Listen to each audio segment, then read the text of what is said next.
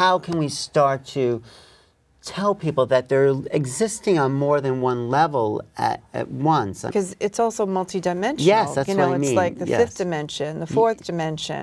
Yes. How do we start to awaken as a civilization to those Well, through meditation, through Mm. using the light, through cl- clearing out the emotional, you know, Mm.